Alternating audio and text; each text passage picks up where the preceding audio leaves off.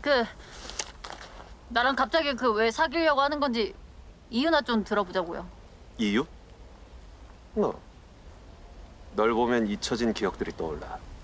누군가와 함께였을 기억의 자리에 자꾸 혼자만 돌아와서 억울하고 분하긴 하지만 뭐 어쩌겠느냐? 그래야 내 고통이 끝나나 본데? 아니 그 기억 좀 찾겠다고 연애를 하겠다는 게 말이 되냐고요. 말이 안 될 건 또 뭐 있어? 난 기억을 찾고 넌 병원을 갔고 둘 다 이득이잖냐. 난 그렇게 상도이 없는 놈 아니야? 누나도 나도 얻은 게 있으니까 쌤쌤으로 치자. 아, 왜 다들 나랑 장사를 하겠다는 거지? 이해가 안 되네. 나야말로 이해가 안 되는구나. 용모 되지, 머리 좋지, 재력 넘치지, 뭐 하나 빠지지 않는 내가 널 만나겠다잖아. 그게 이렇게 싫을 일인가?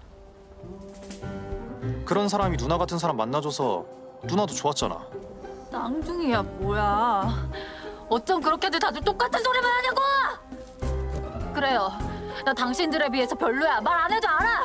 아니까 내 앞에서 꺼져요. 기분 들어오니까. 어, 아, 아, 아. 그래도 일단 만나봐. 그래. 당신 진짜 씨. 온 몸에 뼈한 뼈는 그냥 다 부러져 버려라. 그래야 다시는 내 눈앞에 안 나타나지. 어?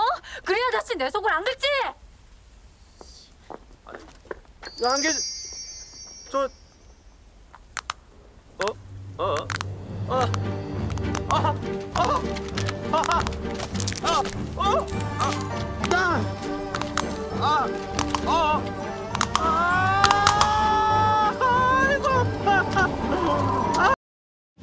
立即搜寻四季线上。